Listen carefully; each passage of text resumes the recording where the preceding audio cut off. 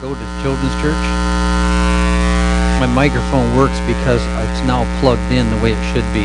When I take it apart at the end of Sunday, I unhook it, wrap it up, and then I it's my fault. I didn't plug it in right. So not the guys in the back. Just don't want uh, and it's not the system's fault. It's human error. My error. So let's pray. Heavenly Father, we uh, are going to turn to your word now. And uh, probably never been a time in my life when I've appreciated the privilege of opening your word more than, than this moment. We've just sung a song about surrendering. And we apply that song we've just sung to this moment and tell you that we submit ourselves to the authority of your word. Bless us, give us seeking hearts, willing hearts, understanding hearts. God, I pray for myself that you would help me. It's, warm, it's uh, sticky and uh, humid and uh, somewhat uncomfortable uh, in our imagination remember the uh, Christians in Siberia that, that met out in the forest because they had no place to meet in shivering temperatures. So the Africans that we met, uh, Dorothy and I, that that uh, 110, 120 degrees, uh, having church. So this is uh, really not any worse than many of your people have experienced. We uh, apply ourselves and focus on what you want to say to us this morning. In Jesus' name we pray. Amen.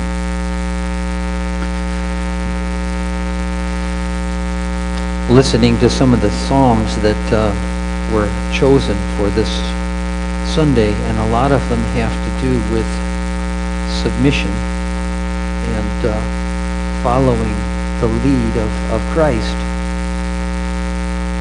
It occurred to me while I was sitting there preparing my heart to stand before you that, that the message this morning taps into what may be the biggest human problem that goes all the way back to the beginning, and that is that we don't want a leader. Eve and Adam, right in the very beginning, in the end, did not want a leader. They wanted to lead. And so this morning's message is uh, just a look at how the whole question of church leadership unfolded. This is a, the first of three messages on this on this topic.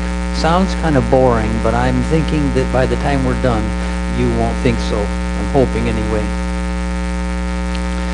within the Trinity, let's get uh, grab a hold of the big picture a moment. Within the Trinity, we have the Father and the Son and the Spirit.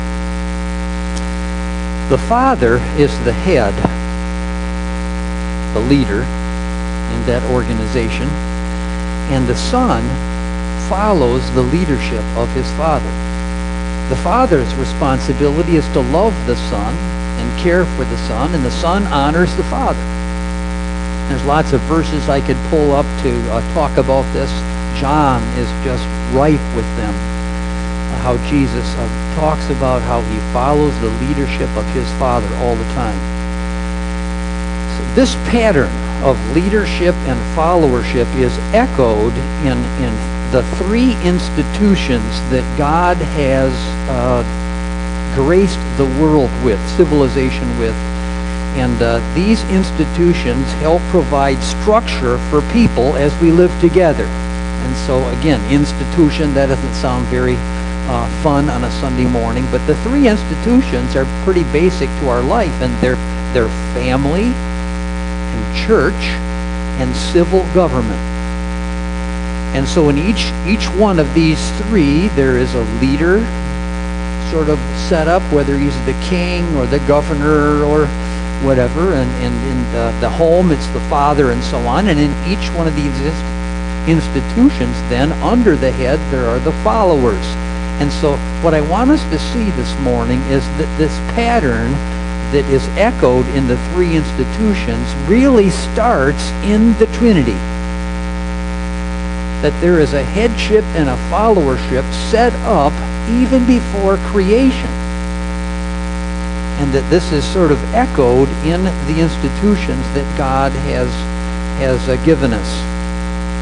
So in the Bible, each of the in these separate institutions the leaders are charged with the responsibility of leading in the best interest of the ones who are under their care so if it's a husband the husband has said i'm god says i'm going to give you authority and responsibility make your choices in your leadership capacity that are in the best interest of the ones who are under your authority and it's the same for government and it's the same for church the followers in each one of these three institutions are instructed to honor and pray for their leaders and submit to their authority. And again, I could show you verses that say that in each one of these three institute in, uh, instances.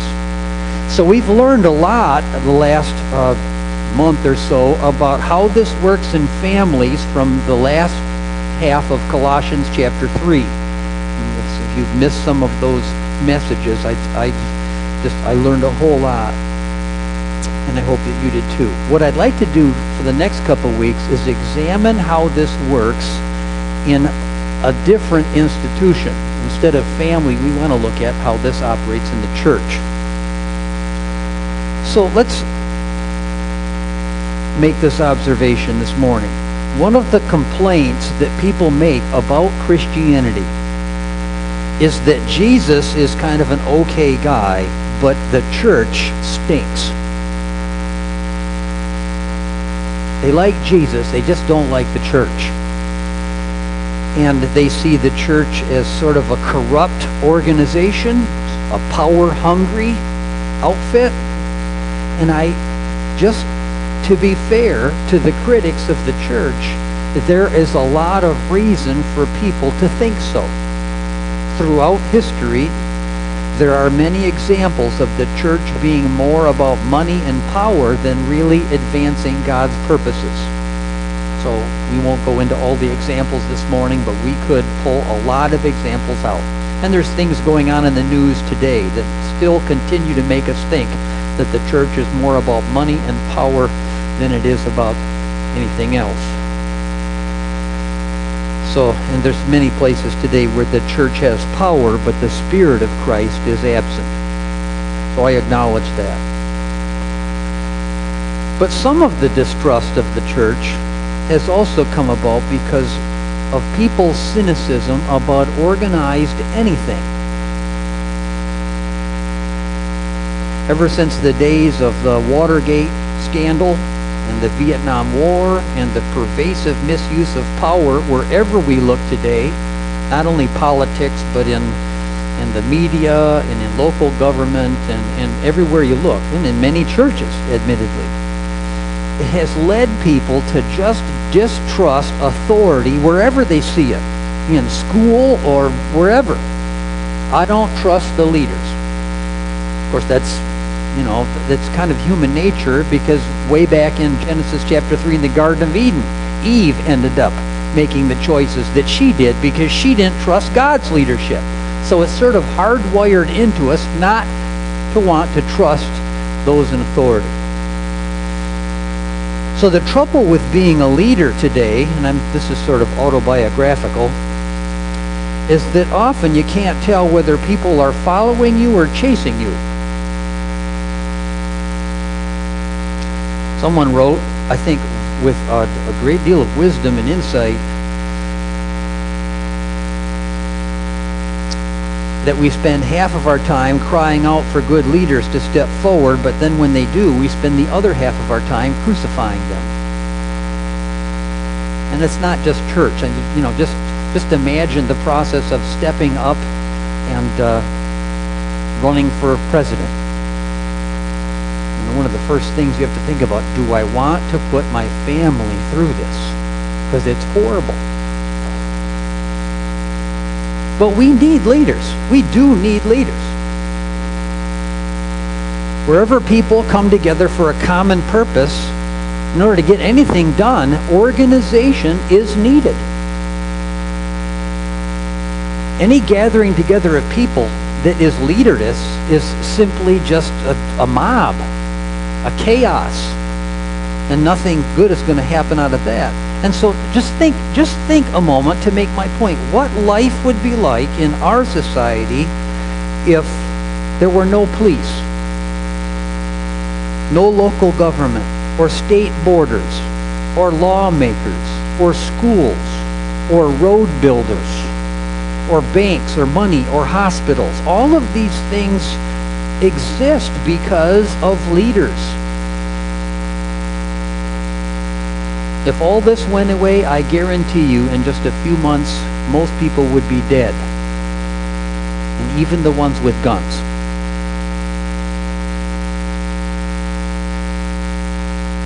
I spent uh, some time in a church where, where there was lots of suspicion about government. There was a lot of people buying guns and just trying to prepare for chaos, you know, and the breakdown of government. And uh, I came to the conclusion that it wouldn't take very long for a mob that confronted someone with a gun to sneak up and throw a throw a, a Molotov cocktail through a window, and your guns wouldn't help you at all it wouldn't be very long before the ones who survived would be living in the Stone Age. Imagine how your own body would function if all organization were removed. I sat back and, and uh, kind of observed that we have a skeletal system, a muscle system, a nervous system, a respiratory system, an immune system, a circulatory system, a digestive system, and there's a lot of other systems that I have left unnamed. And if you take all those systems away, a body ceases to function. So the, the New Testament tells us that a local church is like a body, and just like our physical bodies, with no organization or leadership, it cannot function either. And so as we look at the New Testament, we see that the church was given a particular structure so that it would be able to accomplish some tasks and get things done. And so we're going to look at how that unfolds this morning. I'd like you to go to Acts chapter 1. Acts chapter 1. To start out, I one of the difficult things about this topic is when we start out, we discover that there's a wild card thrown in right off the bat that makes it a little hard to sort out. And the wild card is the apostles. So we meet the apostles. The apostles are essentially the 12 disciples minus Judas and then we, we discover that uh, in order to get their complement of apostles up to 12 again, that there's this discussion in Acts chapter 1. I'd like to read it this morning, starting in verse 21. So there, prior to this, Peter is just making the observation that Judas is uh, not there anymore. He died. He betrayed the Lord. So in verse 21, he says, Therefore it is necessary to choose one of the men who have been with us the whole time the Lord Jesus went in and out among us, beginning from John's baptism to the time when Jesus was taken up from us. For one of these, so he's giving a job description of an apostle here, one of these must become a witness with us of his resurrection. So they here's a uh, they uh, have some nominations and so on, and so so uh, verse 25, it says, to take over this apostolic ministry which Judas left to go where he belongs. And so these men, these 12 men, were men who were with Jesus during his earthly ministry and who were able to stand up and say, I am an eyewitness of the bodily resurrection of Jesus Christ from the dead. I saw him.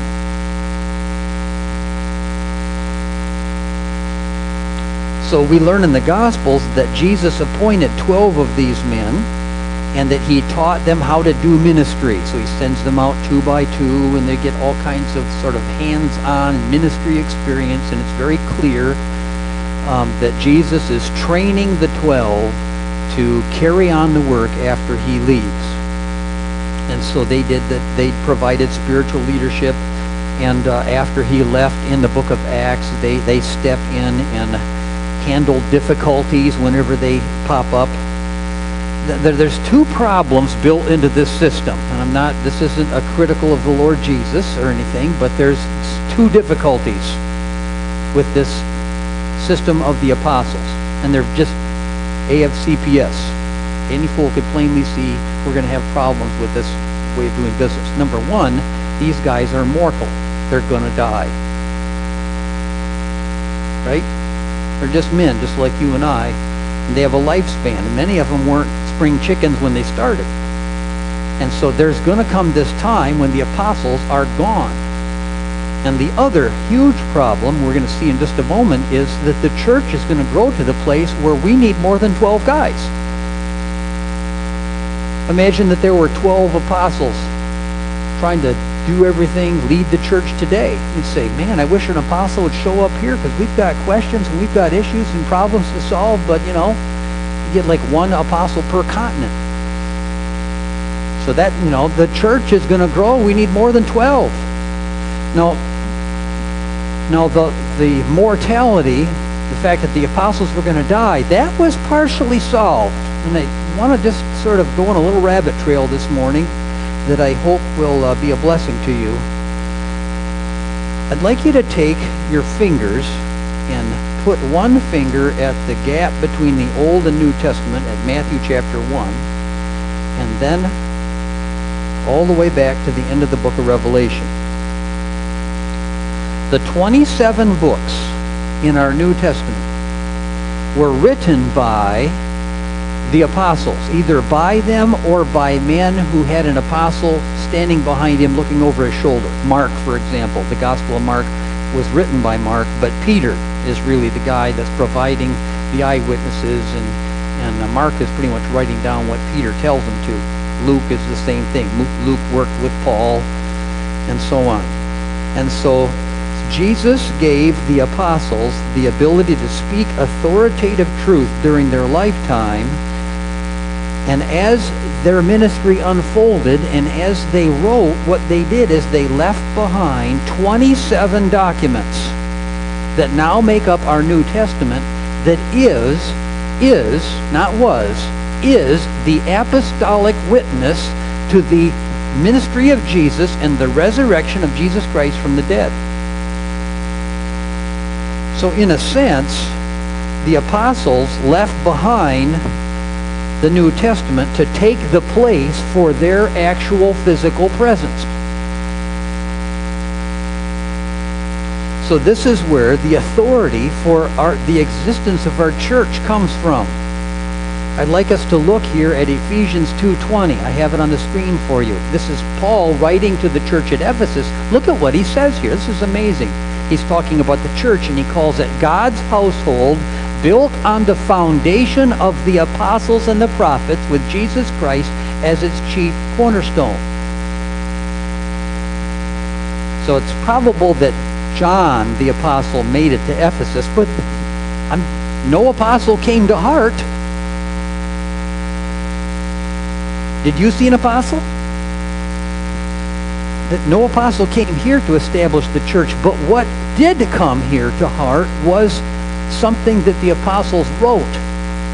The New Testament, together with the, the prophets, it's the Old Testament, the cornerstone, Jesus Christ, he came here in the presence of the in the person of the Holy Spirit. And so the existence of this particular local church is here and the foundation of this church, just like every true New Testament church who is preaching the gospel and is living under the authority of the of the Word of God, can be said to be built on the foundation of the apostles and the prophets. That makes sense to you?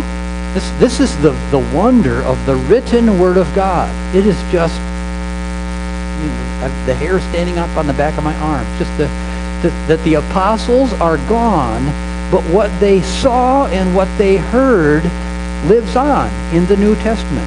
Just, just for a, a fun experience, gather around the table this afternoon and read the first six verses of 1 John chapter 1.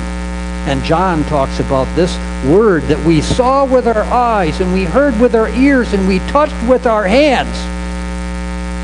So that that is woven all the way through the New Testament. Now I want to make the observation this morning that that this issue forms the crux that has divided all Christendom right down the middle.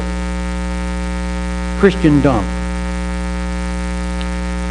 Half of Christendom says that Peter was the leader of the apostles and that his power to speak for God with authority was passed down from generation to generation so that even today there is a man living in Italy whose words carry equal weight to the to the what the apostles wrote in the New Testament. He's even called an apostle. Okay? I disagree with that. The other half of Christendom says, and I am one of them, they say that the apostles were eyewitnesses to Christ's resurrection and were personally acquainted with his ministry. They heard what he said with their own ears, and the apostles died, but their words are left to us in the New Testament. And that the, in the New Testament, that's where the authority is. That is why I'm not supposed to be up here telling you what I think. I'm supposed to be up here telling you what the apostles said. And I have no personal authority to that, that my opinion doesn't about things doesn't matter any more than anybody else's opinion. That it's the, the statements made from front and center here that are based on the clear teaching of, of of the Old and New Testament, that's where the authority comes from. It doesn't seem like a big thing, perhaps, as you're sitting there, but this is a huge issue. Huge issue. How do we know what God says? The answer to that question uh, is there's hardly anyone a question more important. So in the early church that sprouted up in Jerusalem, everything happened under the leadership of the apostles with Peter as their leader. So they made all the decisions and they're just kind of doing all the preaching and whatever happened, it started with them. So we get to a problem over in Acts chapter 6. So turn there with me. The church is growing. Thousands of people are being saved. There's an educated guess puts the number of believers in Jerusalem by the time we get to Acts 6 at 20,000. 20,000. So it turns out that one of the things that was sort of being lost in the shuffle, mishandled, was the was the whole question of benevolence uh, to widows. We just took a benevolent offering this morning, and the early church did the same kind of thing and and there were uh, no social uh, nets underneath. You know, if if a woman was going to have uh, food on her table, and if she was a widow, somebody was going to have to help her. There was no welfare, food stamps, all those things, and so the church stepped up and met that need. But one of the problems was that the the Jewish, the Hebrew, uh, the natives to Israel, those widows were kind of being taken care of, and the ones that spoke Greek were being neglected. There's a little bit of a hint here of uh, sort of a, a, class warfare within the church of the Greek-speaking with uh, Jewish Christians and the uh, Hebrew-speaking Christians. And so the whole thing turned into a big controversy. There's complaining, you know, you can read it for yourself here in the first few verses of Acts chapter 6. And so the apostles stepped forward. So, you know, they rec- oh, we do have a problem. It's a really a problem generated because so many people are. We've got 20,000 believers running around here and 12 men and responsible to meet all these needs, and we just there's not enough hours of the day to do all this. And so what they did is they chose seven men to take care of this need, And you'll notice here that they said in verse 2, they said it would not be right to, for us, apostles, to neglect the ministry of the Word of God in order to wait on tables. And so there's this hierarchy of need, if you can call it. There's kind of the spiritual needs, there's the teaching and preaching and witnessing and doing a hard thinking about what this, this new Christianity means and uh, leading the church and you can just imagine without a New Testament to refer to how many issues would come up for the we don't know what to do. And so these guys are just working uh, all day all night. And so the the, the food problem uh, crept uh, up and uh, caught them by surprise. And so they chose these seven men and they called them diakonos and it means to wait on someone at table just like if you go to a restaurant or if you had a lived in a English manor or something and there's a butler with a towel hanging over his arm and he comes and serves you at your table. The Jerusalem church just called these men the seven. The seven. Later, the men who served similar roles in other churches were called deacons. What I want us to understand this morning is that these men came into being to form the, perform the ordinary business of running the church while the apostles provided the spiritual leadership. So let's move on. Jesus really never gave the church a handbook that addressed the answers to all these issues and questions. The book of Acts isn't so much an instruction manual as much as it is a record of what people actually did as they made decisions on the fly. And so in these days, the apostles were going farther and farther afield. Remember Jesus over in Acts chapter 1 says, you're going to be witnesses in Jerusalem, and then in the nearby region, Judea, and then Samaria, that's sort of the like county next to the north. And he says, ultimately, the uttermost parts of the earth. I'm commissioning you to bring the gospel. And so they started doing that. Thomas, we know, went to India and led many people to Christ in India. Andrew went to Turkey and uh, sort of the underbelly of the Soviet, old Soviet Union, Ukraine. Philip went to North Africa. James, remember John and James were brothers? James, we find out in Acts chapter 12, he was martyred. Herod killed James and so the, the numbers of the apostles is sort of getting smaller, and they're out doing ministry. They're not home. They're not in Jerusalem. And so now, what do we do for leadership in the church? There's a couple apostles hanging around yet, but there's most of those guys are gone. And so the church needed some more leaders to come online, and and uh, certainly eyewitnesses of Christ were in shorter and shorter supply as the years rolled on. And so what they did is they raised up a new category of leaders and they called them elders. Look in Acts chapter 11 for the first mention of elders. Chap verse 30, Acts 11:30, the last verse. It's sort of sort of mentioned um, offhandedly Paul, during his uh, missionary journeys, uh, uh, gathered up some, uh, well, Paul's not, the church, and provided some help for the uh, church in Jerusalem. Uh, they were going through a time of famine, so it says they sent their gift to the elders by Barnabas and Saul.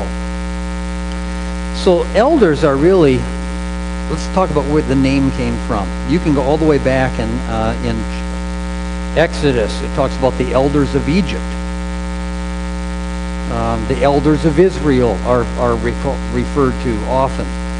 Um, the elders were simply men that were given the responsibility of the leadership in whatever group we're talking about. In the Jewish religion, they had elders. If you look up the word elders in a concordance, Jesus is running into the elders all the time.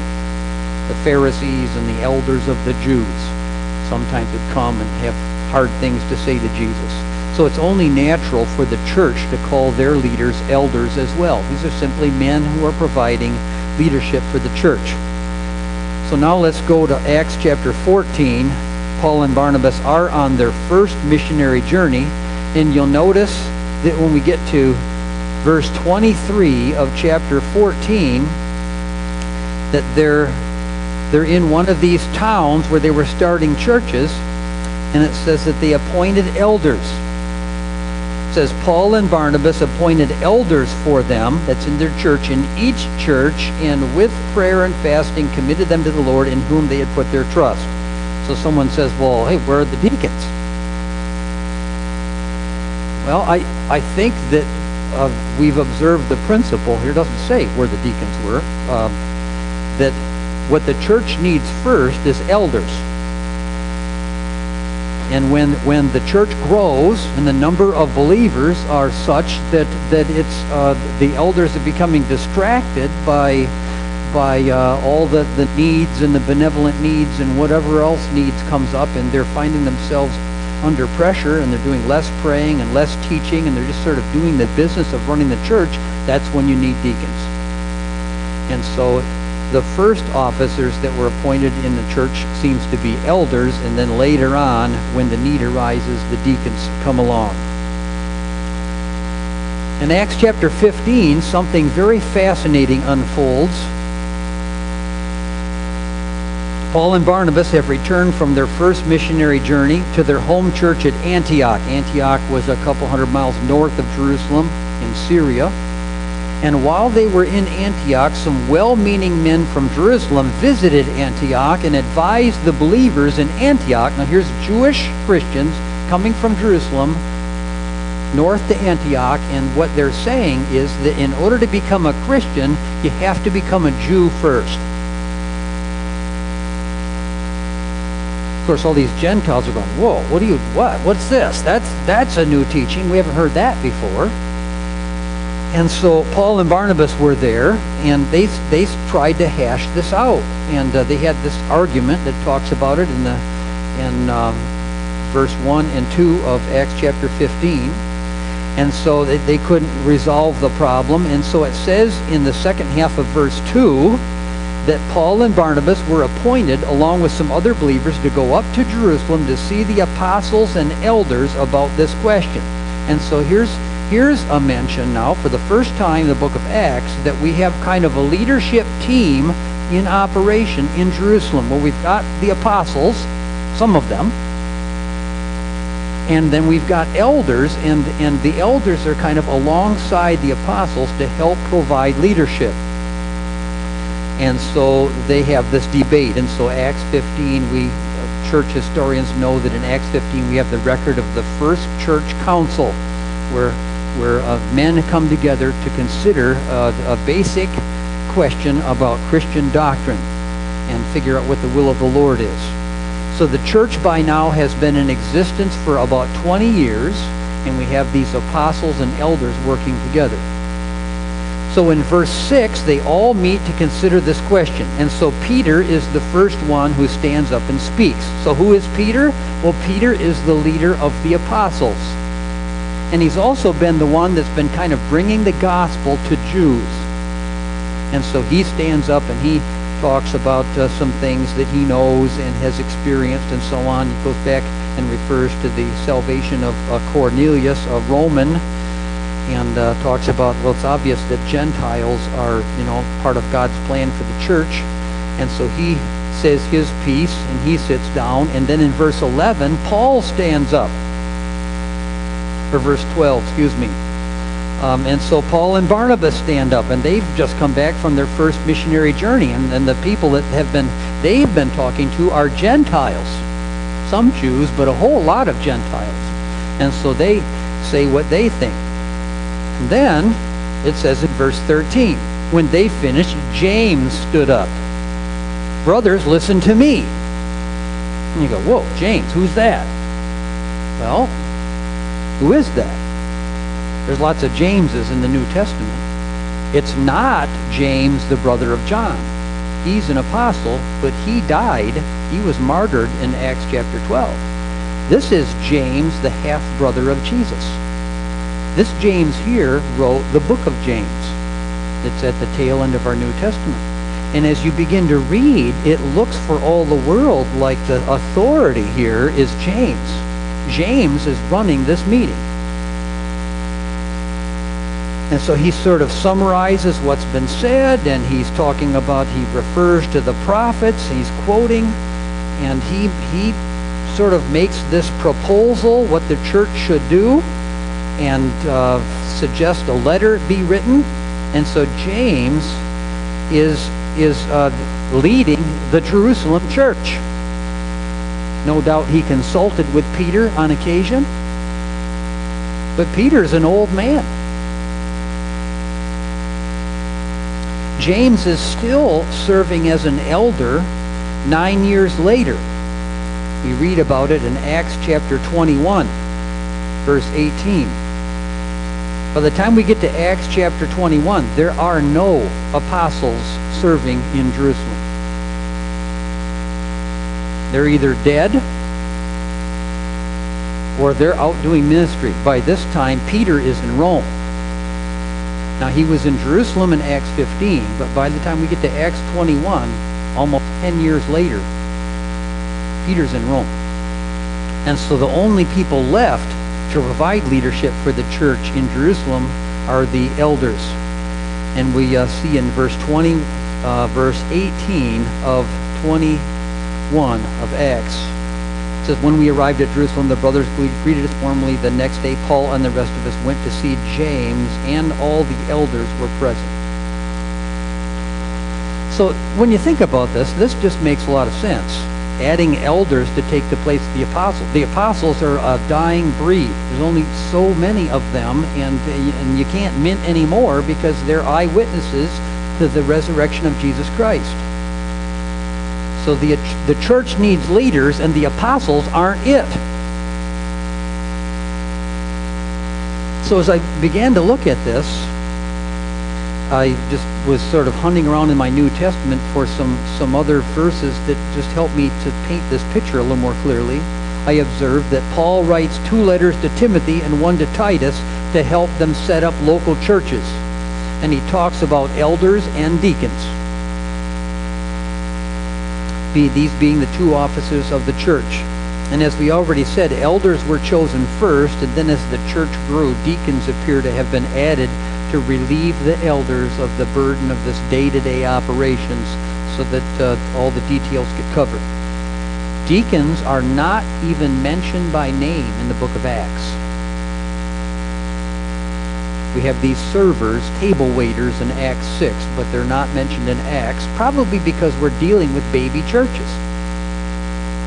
In Iconium and Lystra and Philippi and Corinth and just all the different Thessalonica, Berea, all the places where the apostles went and started churches. No mention of deacons. One church where we know they had both offices was the church at Philippi. In his opening greeting in Philippians chapter 1, this is the only place in the New Testament where you find this. Paul greets the saints in Philippi and he says, there on the screen, to all the saints in Christ Jesus at Philippi, together with the overseers and the deacons. And overseers is a synonym for elders. It's sort of a, a word referring to elders that more describes what they do instead of what they're called. I'll show you later that overseers and elders are the same people in another message.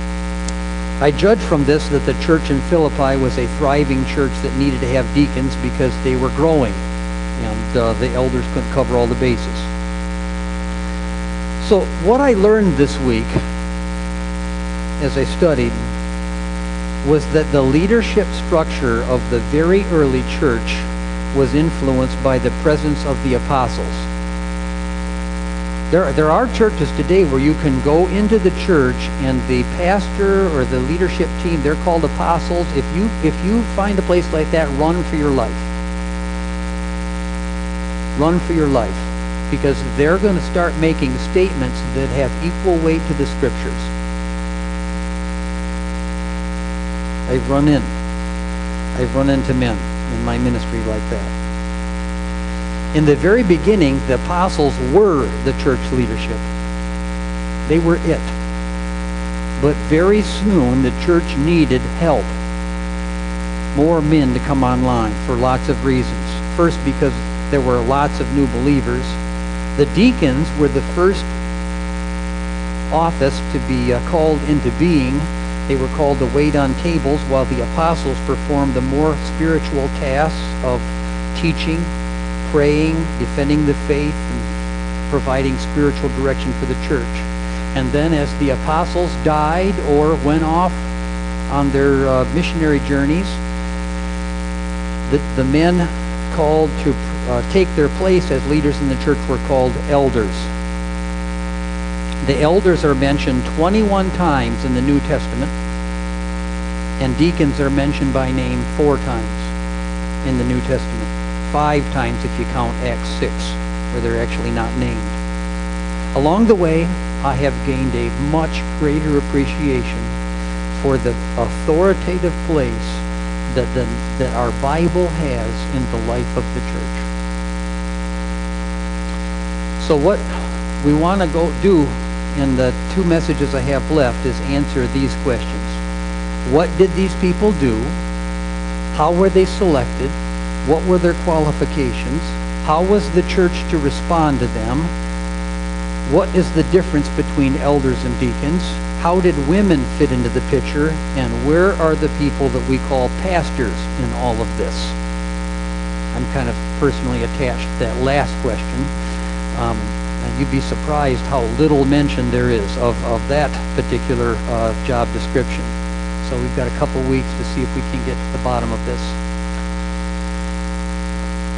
I'd like to have our um, gentlemen come forward now.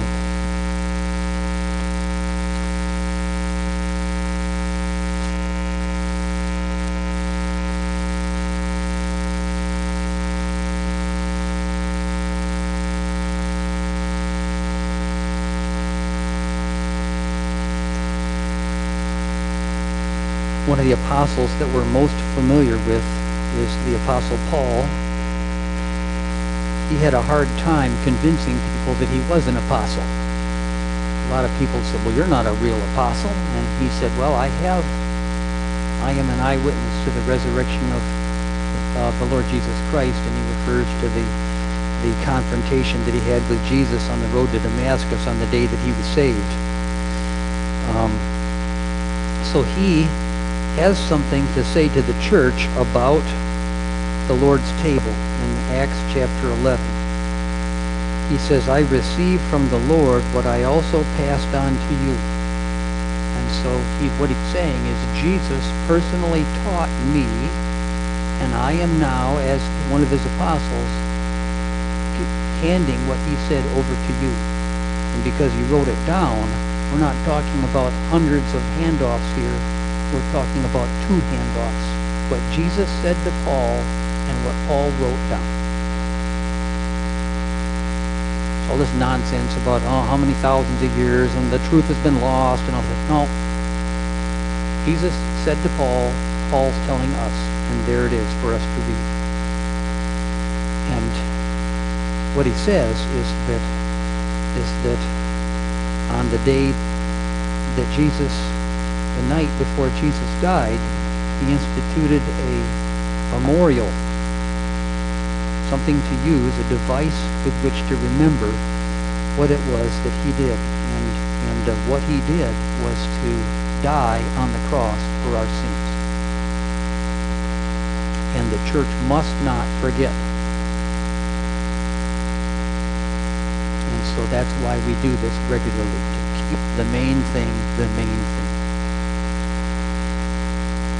So we hold on to the bread and we hold it in our hands and we, and we say, the Spirit, uh, God who is a Spirit became a man and he took on a body of flesh and he allowed himself to be broken for us.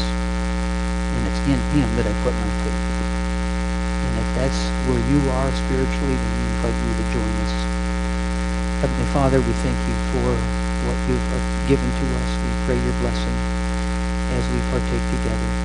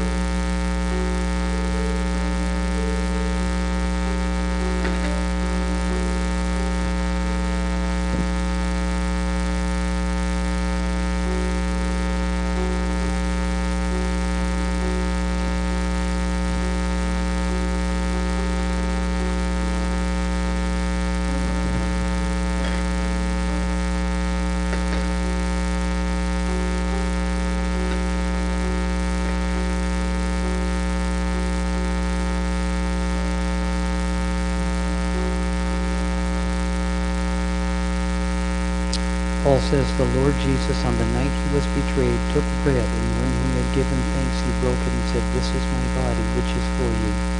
Do this in remembrance of me.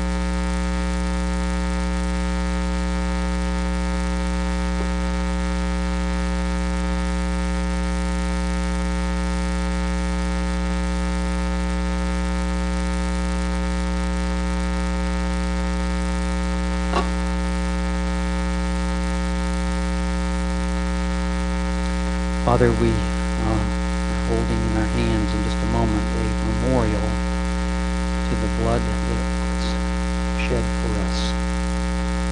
Lord, we confess that there is nothing that we could do in our own energy to earn your good graces and favor because we are sinners.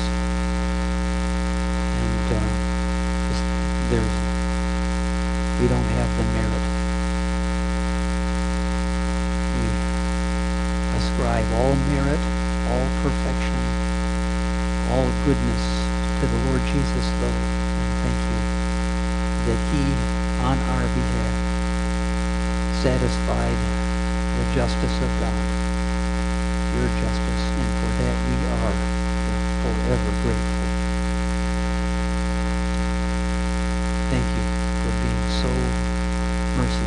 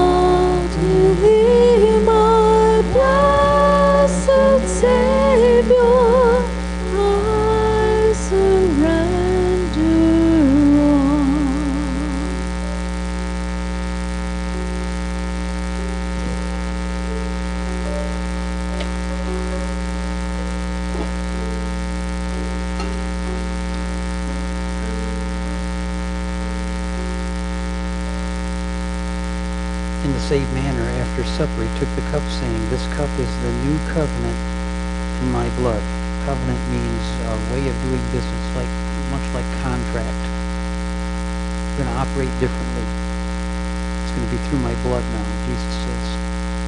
He says, because of this, do this whenever you drink it in remembrance of me. For whenever you eat this bread and drink this cup, you proclaim the Lord's death until he comes.